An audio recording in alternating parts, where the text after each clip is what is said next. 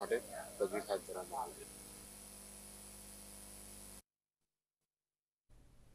રાજકોટ જિલ્લાના ઉપલેટા નજીક આવેલા ડુમિયાણી ટોલનાકાનો છેલ્લા ઘણા સમયથી વિવાદ ચાલી રહ્યો છે.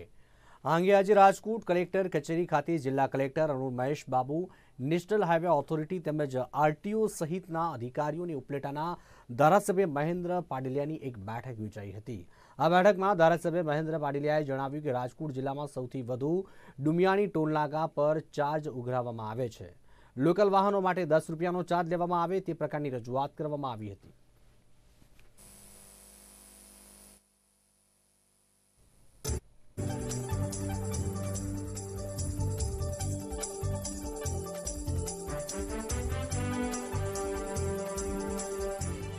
દુમિયાની ટોલ પ્લાઝા માટે અસહ્ય ચાર્જ વસૂલ કરવામાં આવે છે, એ માટે કલેક્ટરશ્રીએ નેશનલ હાઈવે ઓથોરિટીના જે કન્સર્ન અધિકારીઓ અને એને જે કંઈ કંપનીએ આ જે ટોલનું કોન્ટ્રાક્ટ રાખેલો છે, એના ડાયરેક્ટરો ઓથોરિટીને બોલાવેલી હતી.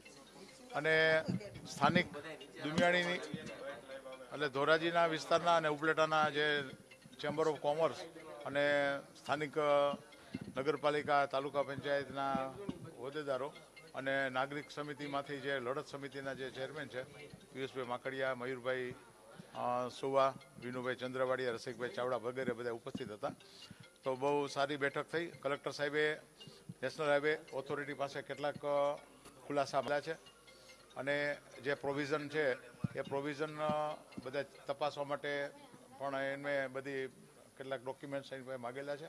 અમારી માગણી એ છે કે વીસ કિલોમીટરની ત્રિજ્યામાં જે ટોલ પ્લાઝાની આજુબાજુના નાગરિકો રહે છે, સામાન્ય જનતા રહે છે, એમને નોન કોમર્શિયલ વેહિકલ માટે જે અસહ્ય ચાર્જ ભરવો પડે છે, એને બદલે ટોકન પર ટ્રાવેલ દસ રૂપિયા ચાર્જ થાય અથવા ફ્રી થાય, એવી અમે